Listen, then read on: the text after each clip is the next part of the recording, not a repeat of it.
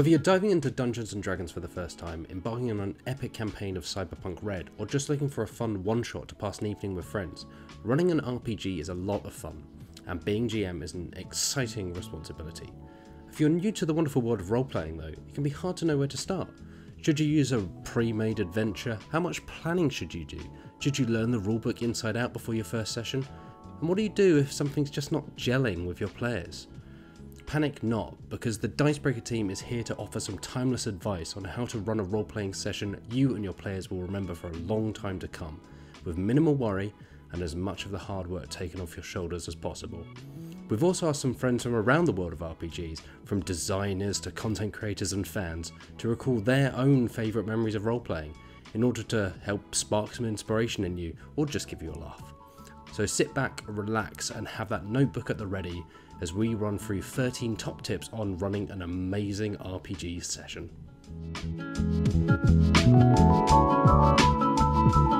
Running an RPG is an amazing experience and it's lots of fun, but it can also be exhausting, both physically and mentally. It involves hours of improvising, talking, reacting, and calculating numbers, all while trying to weave an interesting story for your group. And there's also the matter of being prepared for a session, whether you fly by the seat of your dragon scaled pants or spend hours coming up with the perfect name for every single inhabitant of the town of Far Off in the kingdom of Fantasylandia.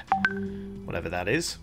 With all of these plates to spin, it's easy to start off feeling a little bit cold. Like you spent so much time preparing for the session and building the world, you forgot to enter that world yourself. So, to alleviate that problem and get yourself psyched up for the hours ahead, it's worth taking a few minutes to get your head in the game, quite literally.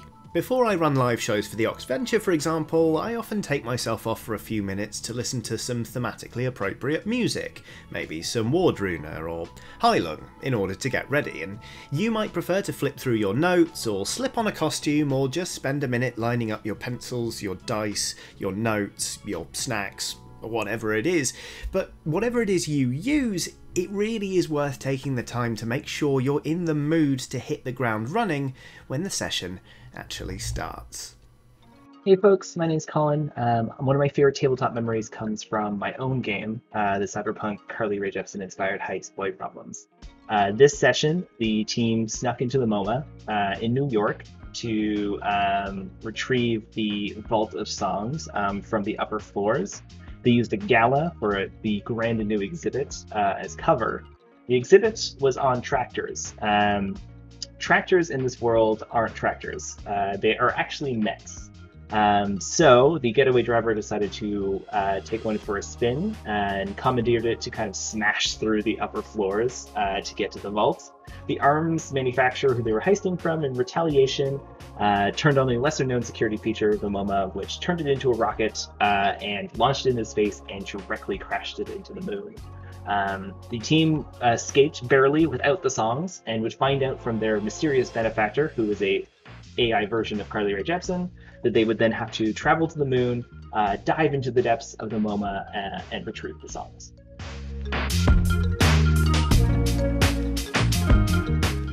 Particularly if you're writing your own scenarios and campaigns from scratch rather than running a ready made adventure from a supplement or sourcebook, it can feel like you need to come up with pages and pages of completely original ideas. It can sometimes feel deflating to realize you've just copied a storyline, location, or a character from your favourite TV show, movie, or book. You might feel like you're just ripping someone off, or your players will be left bored by something they've seen before. The reality is that borrowing is one of the most powerful tools for coming up with something exciting and interesting to keep your group hooked. After all, those characters, plot beats, and places are memorable for a reason. No one expects you to come up with the equivalent of several feature length movies or hundreds of pages worth of brilliantly original material week after week. You're only human after all. While simply recreating your favourite story by itself might be a bit on the nose, picking and choosing ideas from multiple places and smashing them together can create something that's fresh and exciting. How about the swift sword fights of historical samurai tales taking to the far flung future and gleaming technology of sci fi? Oh, wait, that's just Star Wars. You get what I'm trying to say though. Many of the most popular stories are just old ideas remixed into a new form, so there's no reason you can't do the same. As the old saying goes, good GMs borrow, great GMs steal. It's easy to forget when watching a veteran player effortlessly come up with ideas on the fly and tell stories that leave you in awe, but like any skill, learning to be a good GM takes practice. A lot of practice.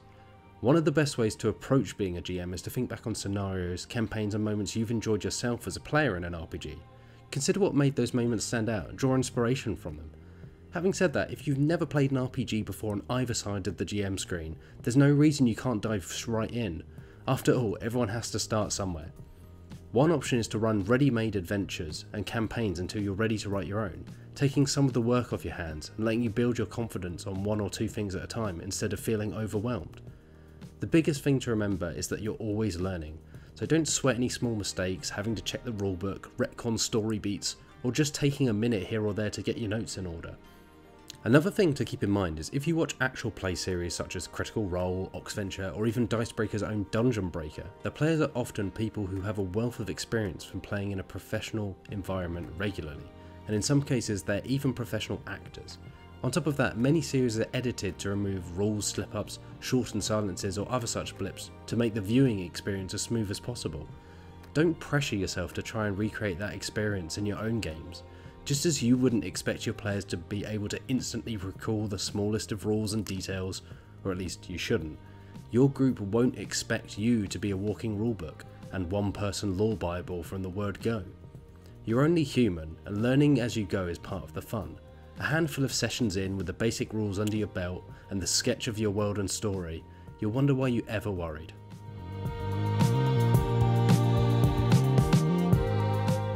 One of the best things about role playing games is their flexibility. There's a rule system to suit every story and every person. From complex simulations of historical combat, where you can calculate the exact air resistance of an arrow, to light and breezy rule sets, where improvisation and narrative takes precedence over number crunching. Finding the perfect balance of rules and setting is key. Do you want to tell a detective story where the players can investigate clues to crack a case? Then Gumshoe might be the system for you. Prefer an intense action heist movie where chaos reigns and disaster is abound? Fiasco will do that for you in the space of an evening. Gritty sci fi survival? Cyberpunk. Nightmarish cosmic horror? Call of Cthulhu. How about an upbeat romp for a colourful land that the whole family can enjoy? Tales of Equestria is sure to put a smile on your face, whether you're a My Little Pony fan or not. Of course, you might be invested in a particular world, whether it's the fantasy settings of D&D and Pathfinder, or the tabletop adaptations of pop culture bastion, such as Star Trek, Lord of the Rings, and more. If there's a particular system that takes your fancy, you can always bend it to fit the stories you want to tell. There's nothing stopping you bringing the political intrigue of a Cold War spy story to a sword and sorcery world in one campaign, before switching it to a more straightforward hack and slash dungeon crawler in the next. Once you've decided on the game that you want to play, knowing the tone and atmosphere you want to capture is crucial. It will lead you to whichever corners of the world best suit your story. Of course, there's nothing to say that players might lead you in a different direction entirely. Hello! So, my favorite RPG moment. Oh my god, there's there's a few. So, just in case one does not fill up your 30 to 60 second time slot, uh, I'll do two. First one is I was playing Vampire the Masquerade and it was one of my earlier RPG experiences. So, my character started out as a normal journalist. She toured the world, she went to Japan, that's where she got embraced. Life changing experiences. In the course of the character's time, my GM had a habit of using celebrities, photos, magazine clippings for the NPCs as a result, when my character finally met the Brujah Primogen to go through the ritual that she needed to so she can elevate herself within the clan. Come to find out that the Brujah Primogen for New York City was the actor Udo Kier. And if you're unfamiliar with this particular actor, he is a very well known character actor in a lot of B grade films. And I adore this actor. Because a lot of the films he does is pretty cheesy, but pretty fun. So, um, if you're if you're not familiar with him, he was, I believe, the head vampire in the first Blade movie, which was kind of fitting. So I really liked his ability to incorporate well-known characters that we knew from regular TV movies into our games, and it really enhanced our experience playing them. So that was a lot of fun. Second experience was playing the Star Wars RPG, where my team decided that we were going to merge a lot of Marvel characters and transcribe them over to the Star Wars RPG format. So you can only imagine the menagerie of folks that we had there. My character in particular was modeled off of Cassandra Cain, the later on uh, persona known as Batgirl. So for her, she was uh, raised by the Sith and became a wandering Jedi on her own. But the really cool thing about her character was the GM had decided that she would be the first Jedi to have the purple lightsaber, which later on, because our story was a prequel, would be later on passed down in generations to Mace Windu. So I thought that, that was a really kick-ass moment as well because I love Mace Windu, and so for my character to be connected to that character in some kind of you know fan canon story arc was really really awesome. I really enjoyed that as well.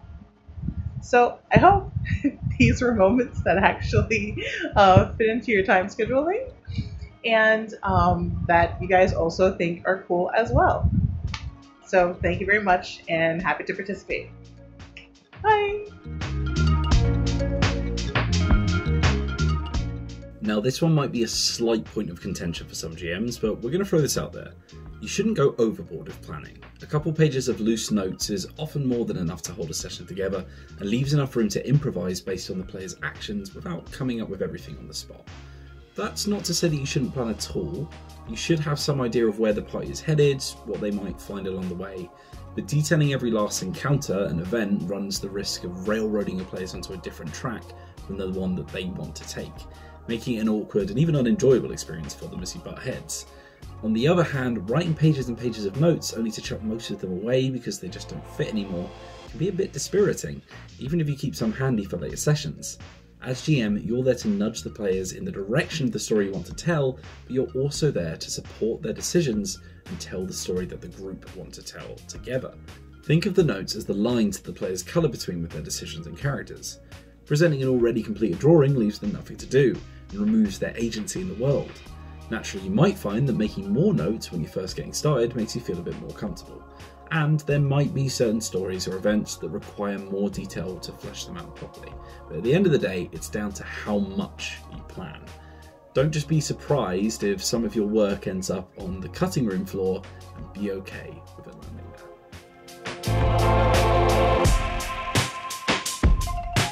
Okay, we'll admit, we just told you not to plan, and now I'm here to tell you to plan a little bit. But stick with me, it's sage advice. Mostly. Generally speaking, you'll want to have an idea of where things begin and where things are going to end up, and that could be over the course of a single session, an arc of a few different scenarios, or an entire campaign. Generally speaking, it helps to have an idea of where things are headed for your sake as much as the players. And again, that doesn't mean you have to have a rigid plan and stick to it no matter what your players do. For example, if they've just assassinated the kingdom's beloved ruler, having a parade thrown in their honour at the end of the session just because you'd planned to have one before they got all regicide won't really make much sense. But if you know the party, for example, will be asked to track down a wanted fugitive in the first session, and they'll eventually have a confrontation with them in the fifth session, it puts you in the right frame of mind to start planning the action of each session in a way that feels natural, rather than making it up as you go along. The good thing about knowing where characters are going to end up, but not necessarily how they're going to get there, is you can react to the things they choose to do in a way that makes their progress through the world more meaningful. Instead of painstakingly tracking our hypothetical fugitive for five sessions, for example, the players might just decide to find out where that fugitive grew up, burn down the village, and wait for them to arrive seeking vengeance. Either way is a valid tactic in terms of making that confrontation happen, so as long as you know there'll be a confrontation, it shouldn't really make a difference to you which path the players take to get there. Let the plan come from the players, in other words, and you can focus on gently steering them in the right direction. Don't sweat the little details, just bear in mind that having a notion of where you'd like things to end up is a pretty good idea. Hello, I'm Amanda Hammond and I'm the editorial director for Kobold Press. I'm going to share one of my favorite moments from a Pathfinder game I'm running right now for several industry friends. In that game, Alexander Sandgroom, our director of operations over at Kobold Press, had been playing a character who could only be described as a hobo. His first scene involved him skulking around in filthy rags, shoveling soup into what became known as his soup pocket. He was literally called Ragheap. So, the PCs were press ganged into a pirate crew, and there were signs that pirate crew was involved in devil worship.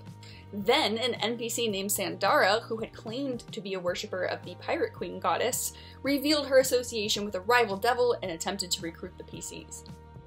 That's when Ragheap revealed himself.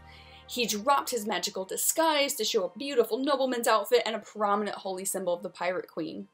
She doesn't want you here, he shouted at Sandara in this booming voice that no one had heard before. Turns out he was an inquisitor of the Pirate Queen the entire time, and rooting out devil worship was his entire mission. His real name was Vincenzo Latticina.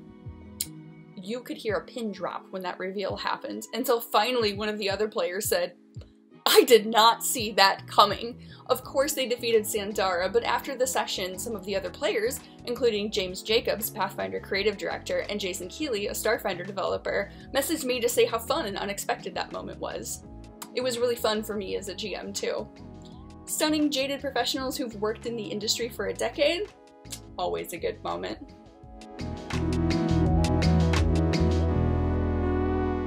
Nobody wants a role playing experience so chaotic that your story falls to pieces in minutes, but at the same time, railroading is one of the cardinal sins of role playing. Forcing your players back onto your pre planned story beats or limiting what they can do because you hadn't accounted for it runs the risk of discouraging their creativity and will inevitably lead to dissatisfied players. Seeing where your players take their creativity without seizing the reins entirely is one of the most satisfying things you can experience as a GM. As the person with almost all the answers, having just a few curveballs thrown your way can be thrilling, not to mention allowing you to have your own little kernels of surprise. Many of the most memorable moments in RPGs come from the unexpected. Someone kicking down the door when you expect them to pick the lock, befriending a dinosaur instead of running for their lives or immediately drawing their weapons. That doesn't mean the GM can't contribute and guide the party, but it should be a constant cycle of inspiration as you react to the player's ideas by throwing in your own into the mix. Considering GMing as having the same yes and rule as improv comedy, while some things may simply be impossible, encouraging supporting your players is the most important responsibility as a GM. After all, there's a reason that things are more exciting when they don't quite go to plan.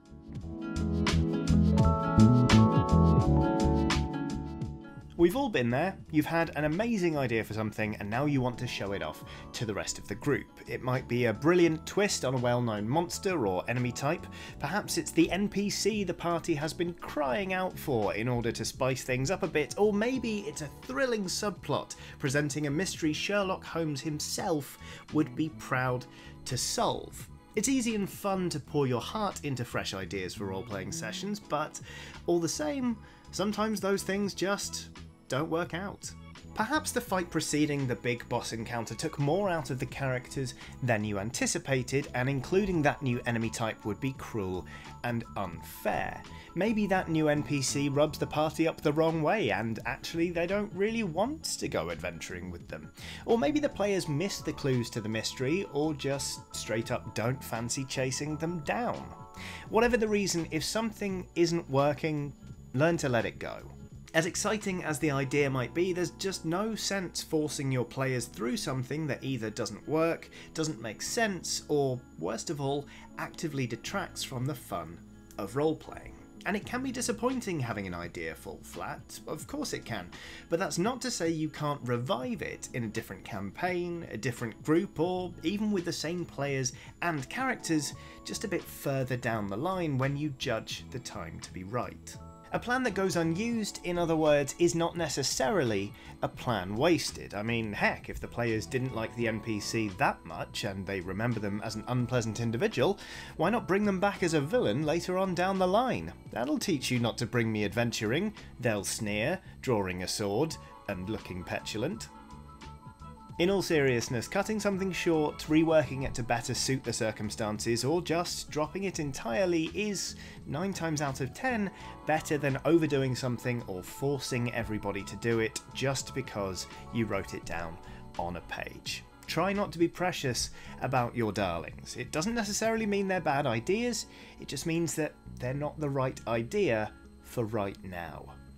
So I have a lot of favorite RPG moments, but I think one of the ones that stands out to me the most is a live action online game that I played uh, a while ago by Avon Woodwinder, and it's called As We Know It in the game, uh, you're all survivors from an alien invasion and you are playing in a closet. You are literally going into a closet or a dark room and you're just texting on your phone.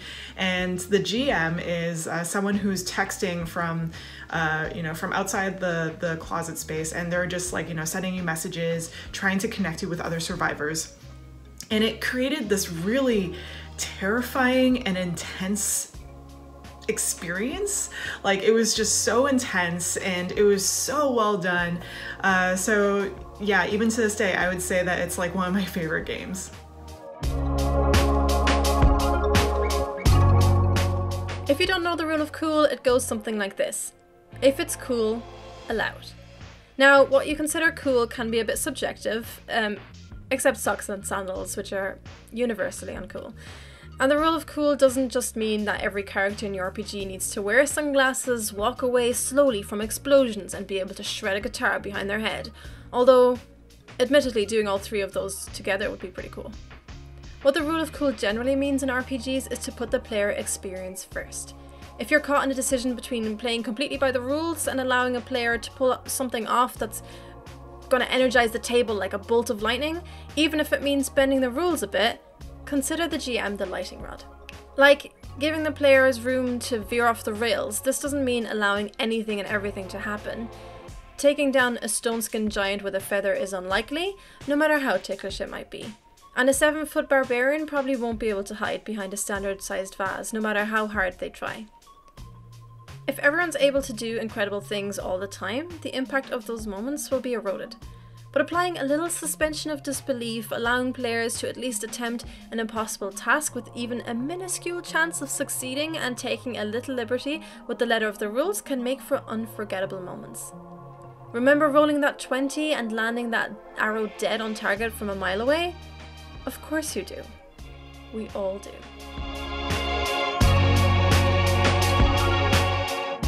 There's a reason that the GM normally rolls their dice behind the screen. What you roll isn't meant to be the be all and end all of what happens. It's a relatively fair way of deciding the outcome of something in most cases, but sometimes a twist of fate can bring a session to a screaming halt. So, what do you do if something you just rolled will kill the mood? Lie about it. If combat's dragging on and the party's struggling to deal with the big bad and barely making a dent in their huge pool of health, then have the next half decent damage roll or especially inventive attack finish them off.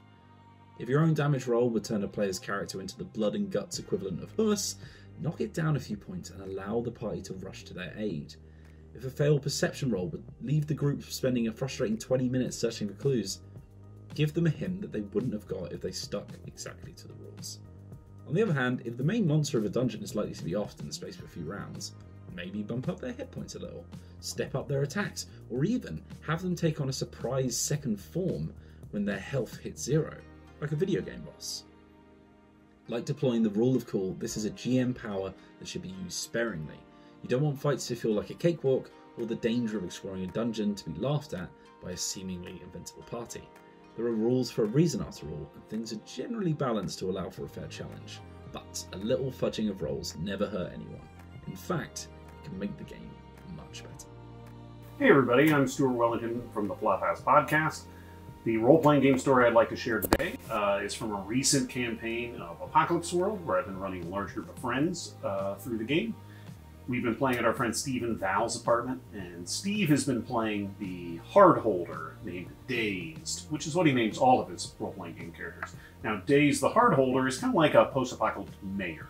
And over the course of the campaign, he made a bunch of enemies, and a group of PCs and NPCs got together and ousted him from his position.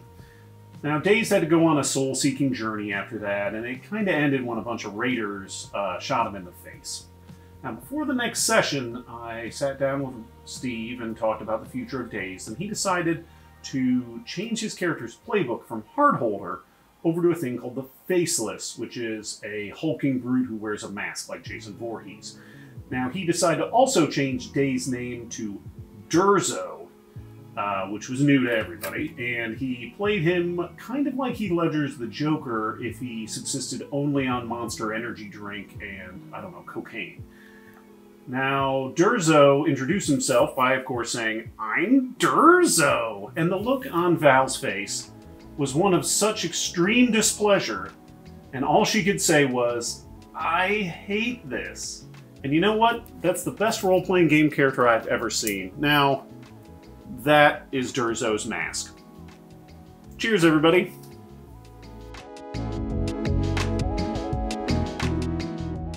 Role playing games may deal with fictional worlds and characters a lot of the time, but they can have a very real effect on the actual people playing them. Before your game begins, while you're playing, and afterwards, you should ensure that everyone is comfortable around the table. Just as they are in real life, Safety, comfort, and consent are absolutely key when role playing. There are a number of excellent safety tools available for free to help you ensure that nothing runs the risk of hurting or upsetting anyone in your group. Among the most popular tools are the X card, a simple card with an X that anyone can touch to skip the current scene or topic, and lines and veils which lay out certain things that shouldn't be included in any session, and those that can be included to some degree, but should be handled with appropriate sensitivity. These tools, among many others, are simple but important ways of making sure that everyone is able to enjoy the experience. It goes without saying that you should respect everyone at your table and ensure that all players treat each other with the same respect and kindness. People should always come before your game, your world, or your story. No ifs, no buts. Unlike many other tabletop games, role playing games are less about achieving victory, scoring the most points, or trying to be the best at something. Those things can be a part of an RPG. Everyone wants the party to eventually complete their quest in one way or another, unless you're playing something deliberately tilted toward disaster like Fiasco or Call of Cthulhu. But the thread that runs through everything is the story. While some groups may play certain RPGs for their crunchy combat, most will be playing to tell a memorable story with friends. And as GM, you're there to make sure that that story is the very best that it can be. As we've mentioned throughout this video, do whatever will tell the best story for your group. Even if that means bending or breaking the rules, cheating behind the screen, or going completely off piste from what you originally planned. You're not an audiobook or a rulebook in a human suit, you're a GM. Use the rules, your own notes, and direction from the players to come up with the most exciting, interesting, and unforgettable story that you can together. At the end of the day, it's less a game than a collaborative storytelling exercise. In years to come, you won't remember if you got the calculation for armor class and wisdom saving throws exactly right, but you will remember that time the group took down a fearsome foe and taught their way out of, or more often into, a lot of danger. Hi, I'm Mike Mason, Call of Cthulhu Creative Director at Chaosium. Many years ago, I was a player in the very first edition of Masks of Nyarlathotep. And uh, during that campaign, um, uh, one of uh, my companions was a character called Jimmy, played by my good friend Dave. Uh, Jimmy liked to collect all of the mythos tomes and all of the player handouts and all the information we gathered during the course of the campaign, uh, which is very useful. You know, he looked after it all, and whenever we had a question, we just asked him, and he would look it up and tell us the answer. Um, so it came as a bit of a shock one day when Jimmy wasn't there. Uh, and Dave declared that Jimmy had run off in the middle of the night with all of our information and all of the mythos tomes to go and become a hermit in the middle of nowhere where he could study all this information for the rest of his life, uh, leaving us all somewhat in the lurch with no access to any of the information that we needed for the rest of the campaign. Despite that, we did muddle through, uh, and uh, but we did come to a bit of a, a, a messy end when we discovered this glowing green rock on this ship and we thought it'd be really good uh, to stow away on the ship so we could then steal the rock or, or kind of destroy it because we thought it was some sort of magical thing. Little did we know that a few hours later we'd all die from radiation poisoning uh, because the rock was uh, full of radiation. Um, putting a pretty much an end to that particular um, chapter in the campaign. Um, as you can tell, we we really didn't do very well uh, in that particular run through of the campaign.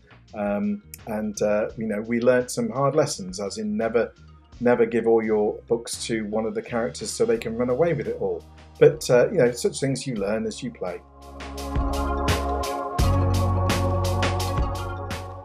It might seem a bit ironic to say this at the end of a video full of tips on how to do something, but there's no right way to play an RPG. Every RPG is different, and every group and GM is different.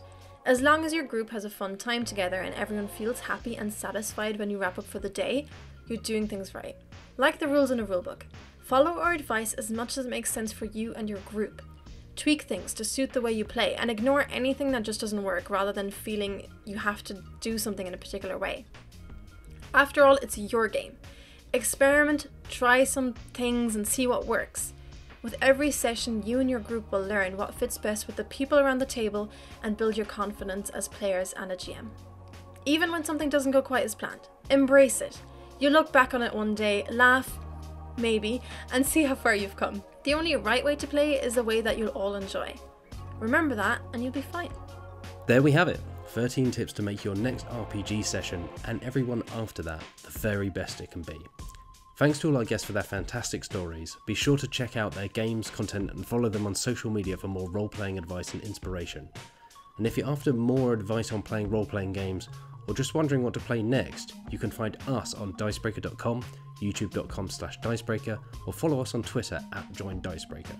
We even have our own Dungeons & Dragons series, Dungeon Breaker, if you're interested in seeing how we play and having a few laughs along the way. But until we meet again, happy role playing and have a lovely day.